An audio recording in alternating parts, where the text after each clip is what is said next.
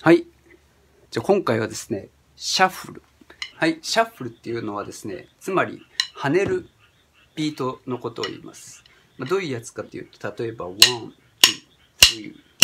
3 1、2、3.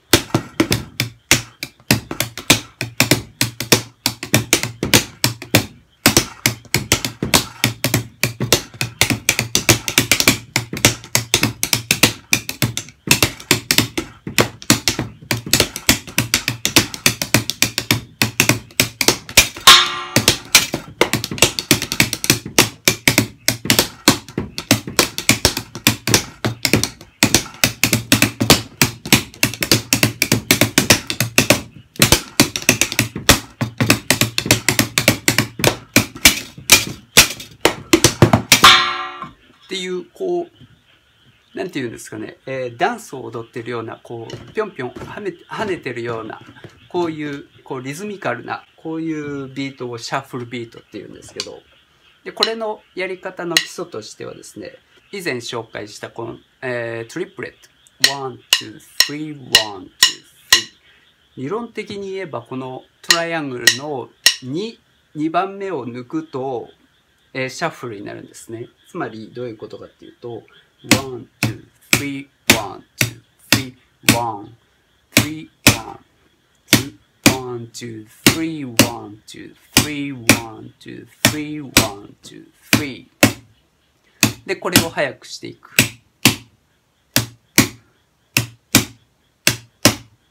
One, two, three, one, two, three, one, two, three, one, two, three, one, two, three, one, two, three, one, two, three.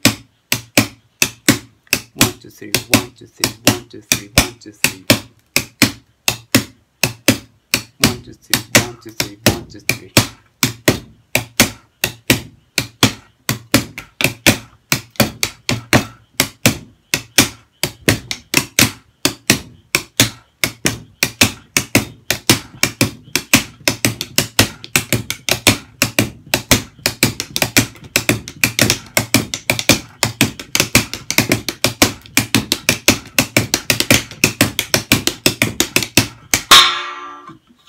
これが、シャッフルですね。なので、まず最初はトリプレットから、ワン、ツー、ス、で、これの2を抜く。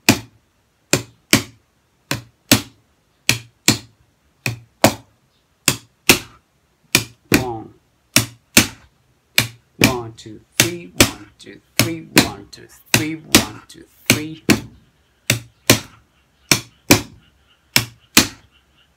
One, two, three, one, two, three, one, two, three, one, two, three, one.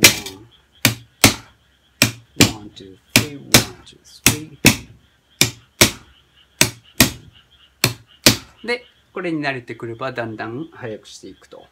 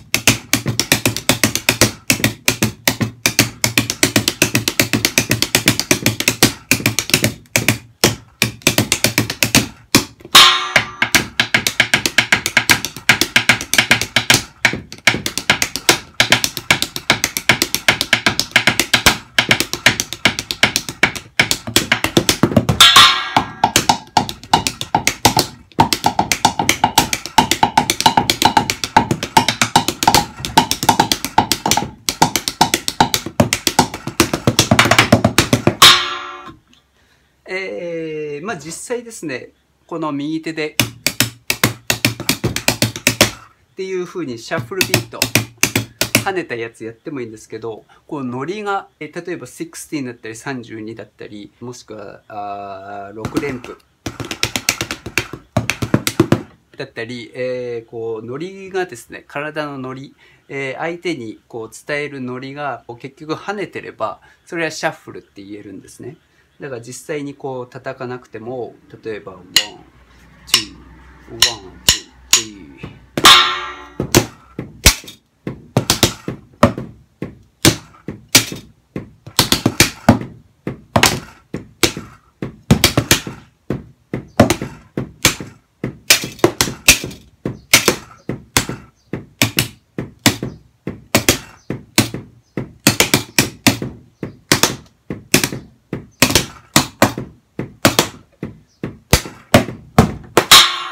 みたいにですね、えー、適所、的確に、えー、この、みたいな、この羽のところで、ポイントポイントで、例えば支部を刻んでて、